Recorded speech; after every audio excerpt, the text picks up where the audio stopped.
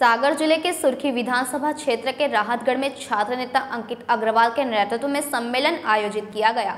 इसमें 1980 से 2020 तक के छात्र सम्मिलित हुए। कार्यक्रम में नव मतदाताओं का सम्मान किया गया और सदस्यता दिलाई गई। आगामी तीन नवंबर को अधिक से अधिक मतदान करवाने की अपील। तीन नवंबर को अधिक से अधिक मतदान करवाने की अपील की गई।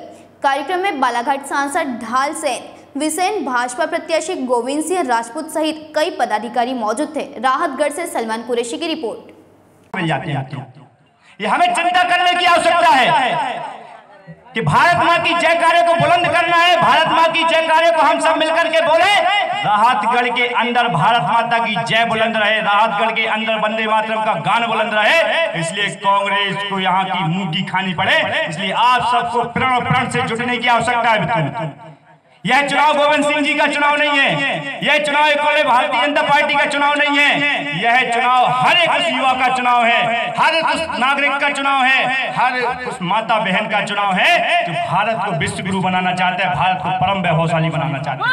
भारत माता की अभी कुछ समय पहले हमने एक सभा में सुना कांग्रेस के पूर्व मुख्यमंत्री एक महिला को कहते हैं आइटम।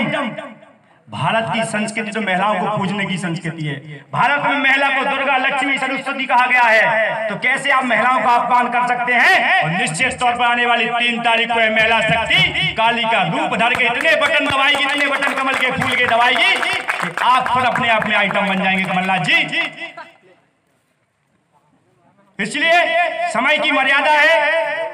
चंद शब्दों के साथ में कुछ ही समय के साथ अपनी बात को समाप्त करूँगा मित्रों।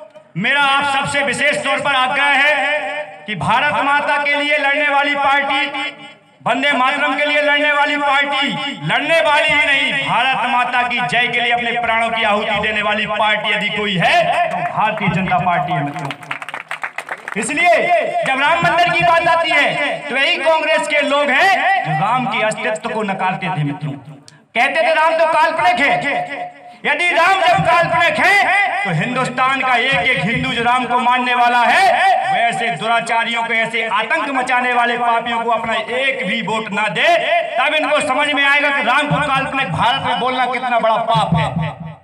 इसलिए हम सबको यहाँ से प्रण संकल्प लेकर के जाने की आवश्यकता है कि जो हमारे राम को नहीं मानता, जो हमारी भारत माँ को नहीं मानता, उनको क्या हम अपना वोट देंगे? देंगे क्या? उनको बहुत तो बहुत दूर है, उनको तो हमें अपने दरवाजे पर खड़े होने तक नहीं देना चाहिए। जो हमारे आराध्य इष्ट देव को नहीं मानते मित्रों। इसलिए मुझे एक दृष्टांत रामायण का याद आ रहा है। उस दृष्टांत के बाद मैं अपनी वाणी को समाप्त करूँगा। जब भगवान राम को पाप को मुक्त करना था, जब भगवान राम को दुराचारियों को आतंक को मुक्त करना था, जब भगवान राम को इस धरती, पावन धरती को राक्षसों के पाप से मुक्त करना था तो भगवान राम ने दशरथ के एक आग्रह पर राजपाट को छोड़ करके दर दर भटक करके रावण विहीन राक्षस विहीन इस धरती को, आतंक भीन इस धरती को किया था। ठीक वैसे हमारे गोविंद सिंह राजपूत उस राम की भांति है और सिंधिया जी हमारे दशरथ के रूप में है, जिन्होंने एक पाप और आतंक से बनी हुई सरकार को मिटाने के लिए अपना एक ही बार में एक बार के आग्रह में सिंधिया जी के राजपाट को छोड़ करके वन की ओर निकल गए और राक्षसों की चलने वाली उस सत्ता को नकार दिया, मित्रों।